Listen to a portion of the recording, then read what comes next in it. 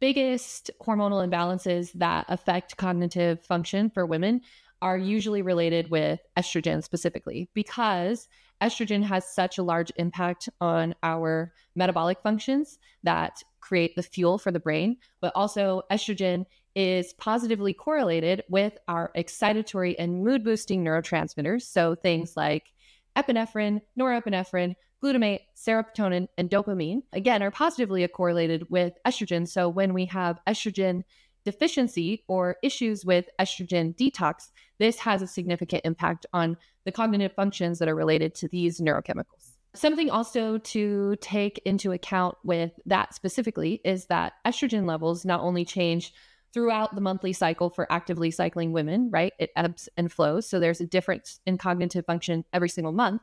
But estrogen levels decline as we age as women and when we go through perimenopause and menopause. And so this does have a significant impact on how our brains work and something that all women really need to be aware of.